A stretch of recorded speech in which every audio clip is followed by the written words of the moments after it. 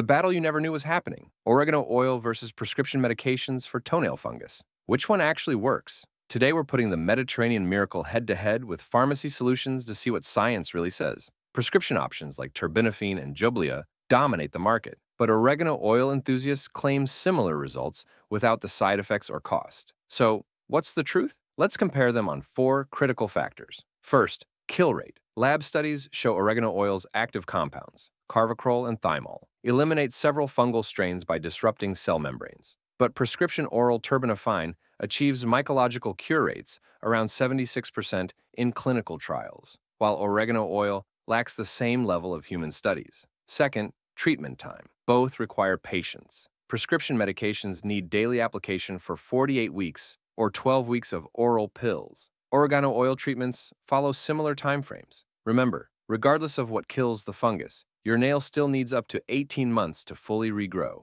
Third, side effects. Oral terbinafine requires liver monitoring and brings drug interaction warnings. Topical prescriptions minimize these risks, but can cause irritation. Oregano oil must be diluted to prevent burns and can trigger reactions in people with certain plant allergies. Never use it undiluted. Fourth, cost comparison. Here's where things get interesting. A full course of generic oral terbinafine costs around $20, while brand name Jublia runs about $650.